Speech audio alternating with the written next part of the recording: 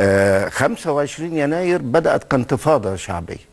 كانت موجودة احتجاجا على كثير من ال- الأخطاء السياسية التي كانت آه موجودة.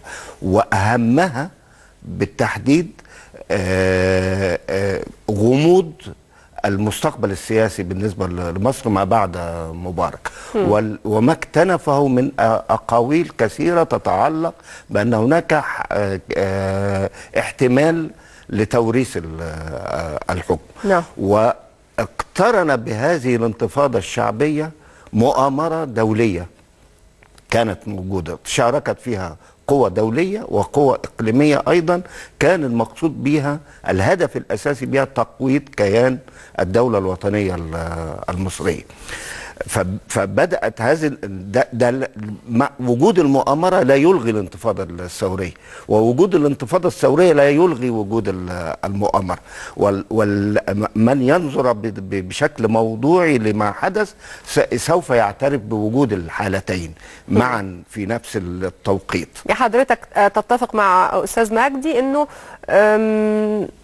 يناير كانت مؤامرة.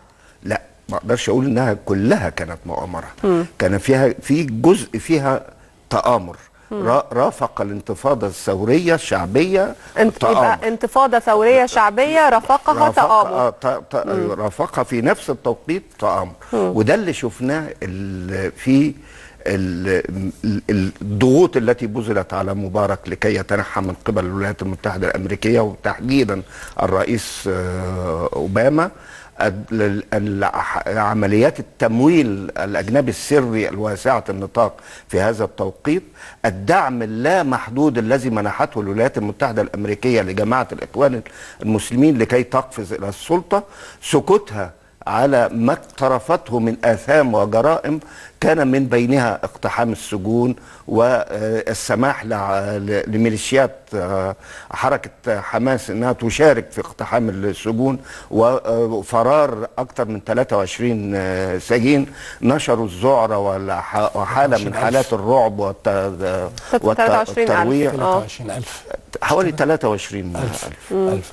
23 ألف سجين آه، جنائي. بالم- بالمناسبة غير المساجين السياسيين. قضايا سياسية. وكانوا في ينتموا لجماعات آه، تكفيرية آه، في, في الأساس. ومنهم كان ينتمي لحركة حماس ومنهم من كان ينتمي لجماعة ال- الجهاد وأيضا لحزب الله. آه، أما خمسة أما 30 آه، يونيو فكانت انتفاضة شعبية كبيرة وواسعة تفوق بكثير. حجم حجم الانتفاضة الشعبية التي حدثت في 25 يناير محاولة لاسترداد الدولة المصرية التي وقعت رهينة وأسيرة في يد جماعة متآمرة مع الولايات المتحدة الأمريكية. جاء